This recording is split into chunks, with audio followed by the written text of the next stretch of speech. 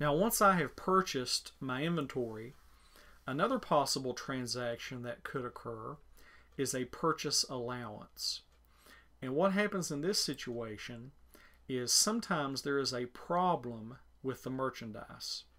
Perhaps the merchandise is defective, or maybe it simply is not exactly what we expected. We're not satisfied. And if that's the case, we could communicate with the vendor and they will possibly give us a purchase allowance. And if they do that, it actually reduces the price.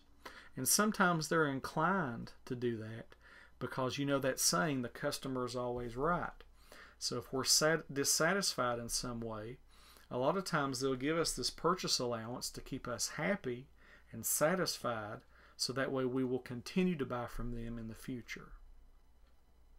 So to see an example of a purchase allowance, we have a vendor who has issued a $250 purchase allowance and this is to resolve a problem that we had with the merchandise. So the way this would be recorded, I would actually debit accounts payable, $250, and I would credit merchandise inventory, 250. This reduces the liability and also reduces the cost of my inventory. So that would be the appropriate way to record that if I'm given a purchase allowance. In addition to that, I sometimes have to pay the shipping on my purchases. And if that's the case, that would also require a journal entry. In this example, we're going to pay $50 shipping, and this is on a purchase that we previously made. In this case, I'm going to debit merchandise inventory and credit cash. And the reason I do that is because I want to increase the value of the inventory. That's another $50 that I paid just to obtain that inventory. And remember, I want that inventory account to reflect all the costs, the actual cost. So when I have to pay the shipping on my own purchases, I will record it in that manner. So that pretty much takes care of purchases. And like I said, I could have a cash purchase, credit purchase, purchase allowance, and also possibly shipping. Now, once we've covered purchases, then we want to take a look at sales because ultimately that's why we are purchasing this merchandise. We want to turn around and sell it to our customers. And hopefully, we're going to make some money in the process. So, every time we have a sale, that's going to have an effect on our company and we're going to have different transactions related to sales and we'll record journal entries for each one of those. So the first example that we have of a sale happens to be a cash sale. And of all the different possibilities with sales, this one is the most straightforward. And the great thing about a cash sale is that we get the money up front. We get the money immediately. So that's always a good thing. So in this case, we have just completed a cash sale for $1,000. The merchandise had cost $700. So in that case, we have two different prices. There is a retail price and the cost. So that means we actually will have to record two journal entries rather than one. In fact, it's a good thing to remember that every time there's a sale, there will always be two journal entries. So to record the retail price, I will debit cash because I'm receiving that money, and I'll show the revenue by crediting sales.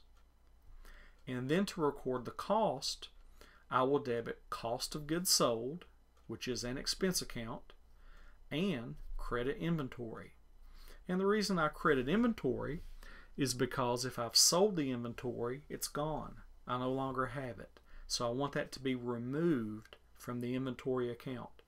So that is the way that we always record a cash sale. Now another possibility is we could also have a credit sale. And in this example, we have the exact same information except for the fact that it is a credit sale. In this case, we are allowing the customer to charge. And sometimes we would do that because it sometimes encourages people to buy more than they otherwise would have. But the downside is we're not going to get the money up front. And in fact, if you look at these two journal entries, they are almost exactly the same as the previous two journal entries. The only difference is this account right here. Instead of debiting cash, I debit accounts receivable. This is an asset and it's a receivable. That means people owe us this amount of money. And hopefully we're going to receive the money. But there is a downside to this. Every time I have a receivable, I also face risk. And there's a risk that the customer will not pay. So that's the downside. If I let people charge, maybe it does encourage them to buy more, but it does give me a risky situation because I may not end up getting that money. We hope that we will, but you never know. It's always a possibility. Now, if we're going to receive a payment on this credit sale, we have to talk about the discount. Earlier, we talked about purchase discounts, and we said that vendors that we buy from offer us a potential discount. Well, we do the same thing for our customers. We're going to offer our customers a possible discount. In fact, here are the credit terms that we offer 110 in 30. So we offer a 1% discount if they pay us within 10 days. Otherwise, they have to pay the full price and they have 30 days to do that. So it's a slightly different set of terms than the credit terms that were offered to us. But in this case, it's the same principle. We want to encourage these people to pay us as quickly as possible, and maybe it's worth it to give them a discount if it encourages them to do that. So the subsequent entry, again, there are two versions. If they pay us within 10 days, that is within the discount period. So I'm going to debit cash, but instead of $1,000, it's only 990. And why is it only 990? Because I'm only going to get 99% of the price. So 1000 times 0.99 is 990. So when that customer pays me, I will receive that much cash. On the credit side, I eliminate the receivable with a credit to accounts receivable. Notice that they do not match. So to make this journal entry balance, that's where I need that extra $10 debit. And that goes to sales discounts. That is an expense account and it helps me keep track of all the different discounts that I've given to my customers. But it's also possible that we may not receive the payment until after that 10 day period has expired. So if that's the case, we would debit cash 1000 and credit accounts receivable 1000. So in other words, they have to pay us the entire amount. So both of those are possibilities. It all depends upon the day on which they pay us.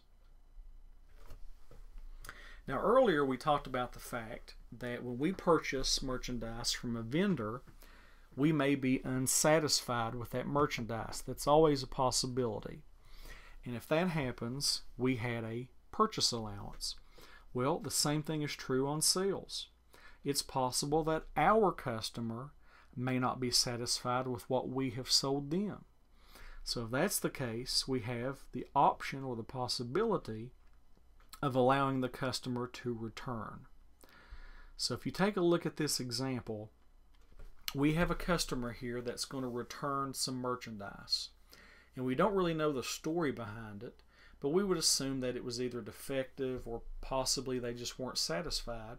So in order to keep this customer happy, we've decided to allow them to return it. The portion that they are returning is worth $500, but it had cost us $300. So again, you've got a retail price and a cost. So that requires two different journal entries. And when you look at these journal entries, it's almost an exact reversal of the original sale.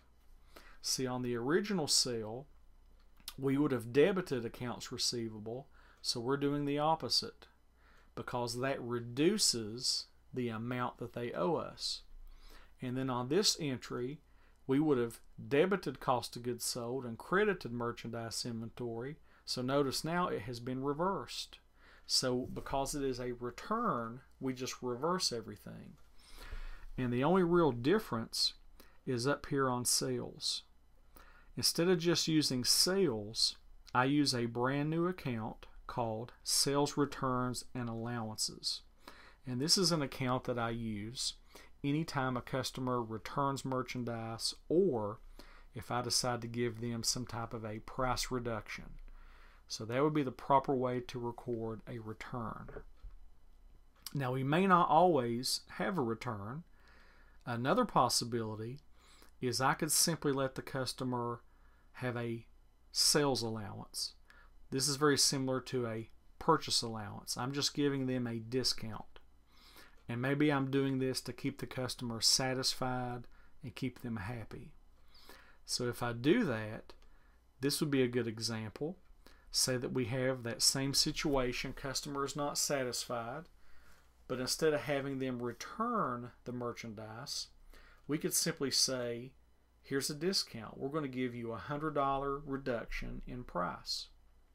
And we could do that. And maybe it's worth it. You know, maybe it's worth losing a $100 if it keeps that customer satisfied and it keeps them coming back to buy from us again and again.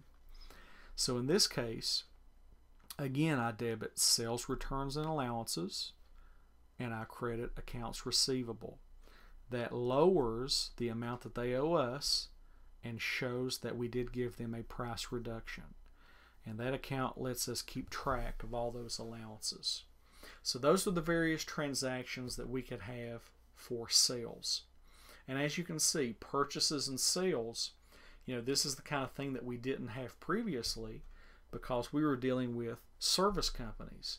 But now that we're starting to deal with merchandise companies, from time to time we will have situations where people purchase and sell merchandise. But when those situations come up, we will know exactly how to account for that using these journal entries.